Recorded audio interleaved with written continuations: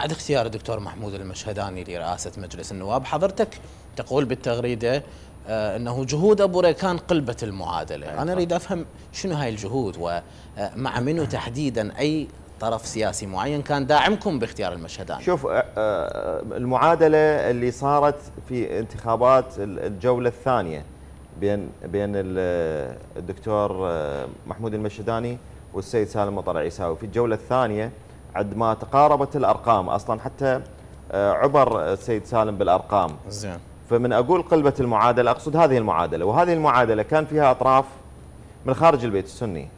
آه، أكو آه، كان آه، مشروع لرسم مثلث معين أحد اطرافه رئيس البرلمان.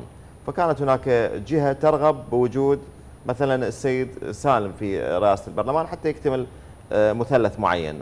ما ما أريد أدخل في تفاصيل لا أدخل في تفاصيل حتى توضح الفكرة للناس. يعني يعني حتى يكون أكو هناك يعني تلاؤم كبير بين رئاسة الوزراء ورئاسة البرلمان. وأنا برأيي أنه هذا يعني آه، الاندماج أو هذا النسق أو التناغم آه، بين رئاسة الوزراء وبين آه، رئاسة البرلمان هو شيء غير صحي بالعملية السياسية. اذا الداعم للسيد محمد الشيع السوداني كان داعم للسيد سالم عيساوي. أكيد وهذا طبعا تصريحات النواب. يجب أن يبقى دور البرلمان رقابي على الحكومة.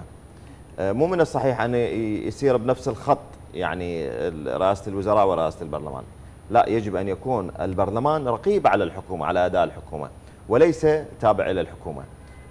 تعرف أنت البرلمان هي السلطة الأعلى في البلد السلطة التشريعية الأعلى في البلد.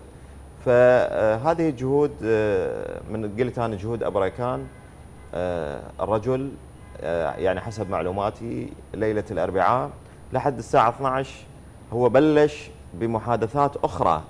يعني لما خلص اجتماع كتلة التقدم راح زار رؤساء الكتل وتباحث معهم وتناقش معهم وانطوى تعهدات.